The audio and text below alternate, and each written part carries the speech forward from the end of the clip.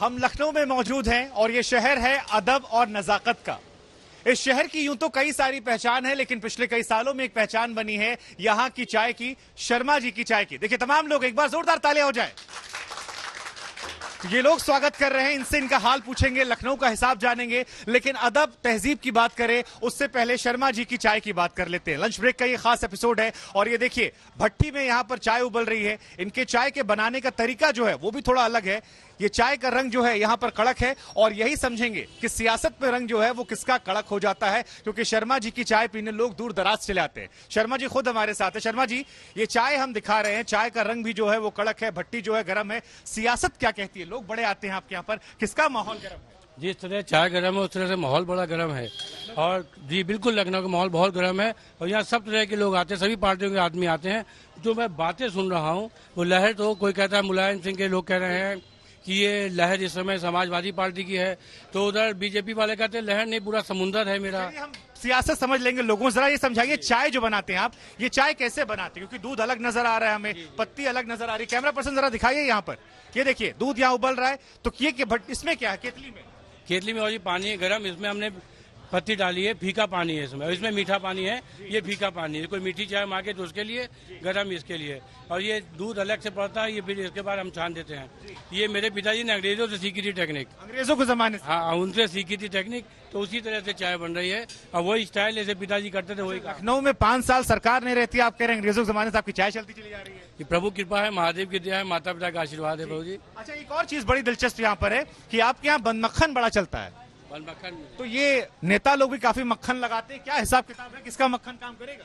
मक्खन देखिए माहौल तो बड़ा दोनों तरफ़ का है भैया। अब देखिए समय बताएगा किसका मक्खन काम करता है। समय बताएगा। इधर से भी चाय दिखाते हैं। देखिए ये चाय जो है इसका रेट महँगा हो गया है। जनवरी में बताया जाता है इधर लोग यहाँ पर मौजूद हैं। हम इधर ही आते हैं। देखिए ये चाय की दुकान है और चाय के बाहर अगर आप देखेंगे तो बड़ी संख्या में लोग आपको यहाँ नज़र आते हैं जो यहाँ पर दूर दराज से चाय पीने चले आते हैं बंद मक्खन खाते हैं और ये चाय इनकी खूब बिकती रहती है। इधर आइए भाई साहब। इधर आइए इधर आइए।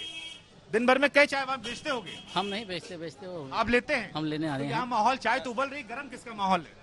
अब भाई हम बताए कैसे बता दे भाई? कुछ तो हवा होगी। नहीं भैया हम कैसे हवा तो बोलना तो दो ही है। अच्छा भाई साहब आप बता दीजिए मुस्कुरा रहे हैं मुस्कुराइए कि लखनऊ में? नकलों में बाबा जी है। हाँ, कौल है? बाबा जी का ज़िक्र किया जा रहा है। कहाँ रहने वाले भाई साहब लखनऊ से। लखनऊ के अमीनाबाद। अमीनाबाद से। जी। तो यहाँ शर्मा जी के यहाँ चाय में बंद मक्खन आता है। चाय तो बहुत ही बढ़िया होती है इनकी हम बहुत बचपने से ये देखिए ये बंद मक्खन यहाँ पर है। ये भाई साहब किसका ऑर्डर है? चले आप बंद मक्खन खरीद आइए भाई साहब। ये बताइए की नेता लोग भी खूब मक्खन लगा रहे हैं। किसका मक्खन चल रहा है? पता नहीं भाई साहब किसका चल रहा है। नहीं पता। नहीं पता। तो देखिए यहाँ पर चाय जो है वो बंद मक्खन यहाँ पर है। और लगातार ही हम आपको दिखा रहे हैं। देखिए चाय यहाँ पर बनती जा रही है माहौल जो यहाँ पर गस्ता जा रहा है। लोगों से ही बात करते हैं क्योंकि लोगों की राय जानना ज़रूरी है। भाई साहब इधर आगे आइए देखिए यहाँ कहा जाता है कि मुस्कुराइए कि लखनऊ में लेकिन यहाँ लोग शर्मा रहे हैं। शर... इधर आइए भाई साहब आगे आइए। ये जरा बता लाइव चल रहा है भाई साहब। ये बताइए कि मक्खन जो यहाँ पर है नेता लोग भी खूब मक्खन लगा रहे हैं। बड़ा वादा किया जा रहा है तीन सौ यूनिट बिजली दिया जाएगा बिल माफ़ कर दिया जाएगा कोई कुछ कह रहा है। क्या लग रहा है जनता किसका मक्खन खाएगी? फ़िलहाल तो हम भी रिपोर्टर हैं। जी। तो आपका जवाब नहीं लेंगे हम। फिर आपका जवाब नहीं लेंगे। भाई साहब इधर आइए। आप भी बंद मक्खन खा रहे हैं। जनता किसका मक्खन खाएगी? किस पार्टी का? सिर्फ़ भाजपा का। क्यों ऐसा लग रहा है? ऐसा? सबसे पहले राष्ट्रवाद उसके बाद धर्म। पहले राष्ट्र देखेगा अगर विधानसभा चुनाव में राष्ट्रवाद चलता है। क्यों नहीं चलता है? भाई अगर देश रहेगा तभी तो हम आप रहेंगे। अच्छा एक बात बताइए भाई साहब। ये कहते हैं कि शर्मा जी की चाय दो बार पीते हैं लोग। एक बार पी के आते हैं फिर दोबारा फिर पी जाते हैं। लेकिन सरकार यहाँ यूपी में दोबारा रिपीट नहीं होती है। सरकार लेकिन इस बार रिपीट हो रही है। क्यों ऐसा लगता है योगी बाबा आ रहे हैं। तो ऐसा क्यों लगता है? क्या वजह है? योगी बाबा के काम। कौन सा काम? जरा गिना दीजिए। आप बताइए कौन सा काम? ये पिछले पाँच साल में कहाँ दंगा हो गया? उत्तर प्रदेश के किस शहर में कहाँ पर दंगाइयों ने कुछ बलवा क्या? आनंद लेते रहे ठंडा नहीं नहीं कोई दिक्कत नहीं ठंडा नहीं होगा। कहीं भी पूरे उत्तर प्रदेश में अराजकता आपको सुनने में नहीं आई होगी। बड़े बड़े माफिया गुंडे अपनी जान बचाए हुए जेलों में पड़े हुए हैं सिर्फ़ योगी बाबा के खौफ से। और यही माहौल चाहिए उत्तर प्रदेश तभी। चाहिए लेकिन देखिए दर्शकों को बता दें कि चाय के कई तरह के रंग होते हैं। कुछ गाढ़ी चाय होती है कुछ फीकी चाय होती है। भाई साहब इधर आइए आप। आपने लाल कपड़ा पहना है। उत्तर चाय का रंग तो हम बता दे रहे हैं लेकिन प्रदेश की सियासत में कौन सा रंग चलेगा? प्रदेश की सियासत का रंग इस बार बदलेगा। कौन सा रंग बदलेगा?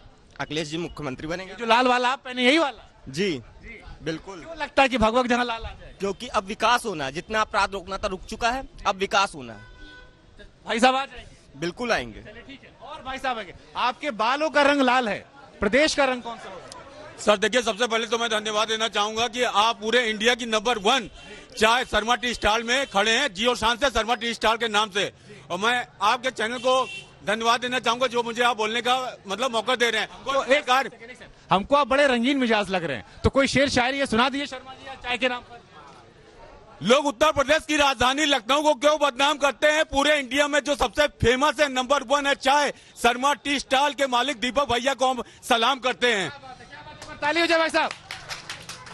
दोस्तों कोई भी सरकार आए कोई भी सरकार जाए इससे मतलब नहीं है। महँगाई बेरोजगारी दूर होनी चाहिए। और मैं आपके चैनल के माध्यम से ये मैसेज देना चाहूँगा कि आपके क्षेत्र में जो भी उम्मीदवार योग्य हो उसको आप ज़्यादा से ज़्यादा वोट करिए। और मतदान में अपना प्रतिशत मतलब करिए। और मैं आपके चैनल के माध्यम से यह भी मैसेज देना चाहूँगा, कोई भी सरकार आए, महँगाई, बेरोजगारी को दूर करे। BMA master business of administration का कोर्स किए वो लोग बेरोजगार घूम रहे हैं। यदि आपकी जेब में प्रेजेंट टाइम में सौ, दो सौ रुपए है तो आप सब्ज़ी नहीं खा सकते। मेरी अपनी पब्लिक ओपिनियन है कि कोई भी सरकार आए, वो महँगाई को कम करे। बढ़िया बात आपने कही। अब कुछ और भी इधर आते इधर इधर भाई साहब, आप भगवा चंदन लगाए, लेकिन यहाँ चाय की जो दुकान है, एक बार जरा ये रेट दिखाइए। देखिए चाय कुल्हड़ में तीस रुपए की हो गई है पेपर वाली जो है बीस की हो गई है।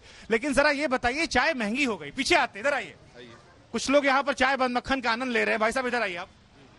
ये शर्मा जी की चाय जो है वो जनवरी से महँगी हो गई है। आपको लग रहा है कि महँगाई का कुछ असर होगा यहाँ पूरे? हिंदुस्तान के अंदर महँगाई हो गई है और आप देखिए जो भी राशन के सामान थे वो सब चार गुना ज़्यादा महँगे हो गए हैं। जो। सिलेंडर चार सौ रुपए का मिलता था वो आज आठ सौ रुपए का मिलता है। और महँगाई की मार ये अब झेलना पड़ेगी बीजेपी सरकार को। तो आपने शेरो शायरी के माध्यम से बताया लेकिन महँगी चाय आप पी रहे हैं तो क्या ये महँगाई जनता झेलेगी या बदल देगी? नहीं झेल पाएगी नहीं झेल पाएगी नहीं झेल पाएगी। क्यों लगता है हमारा जो किसान है किसान नीचे नीचे हो जा रहा है कहाँ झेल पाएगा? कमाई में घटती जा रही है महँगाई बढ़ती है कैसे झेल पाएगा? ज़्यादा भाई साहब एक सवाल आपसे पूछ लेते हैं। नहीं बता रहे शर्माइए नहीं मुस्कुराइए ठीक इधर आइए भाई साहब। एक चाय आती है कटिंग चाय। आपने कटिंग चाय पी है? कटिंग चाय पिया हूँ लेकिन इस शर्मा जी की दुकान में प्रथम बार आया हूँ। चूँकि चूँकि मैं बंगाल से हूँ। जी जी बंगाल से। अच्छा बंगाल से। क्या लग रहा है? घूमे कुछ थोड़ा बहुत? घूमा हूँ। माहौल ऐसा है कि यहाँ के लोगों में उत्साह है। लगातार जिस ढंग से जोगी जी ने गुंडागर्दी पर जो प्रचार करने तो नहीं आए योगी जी का?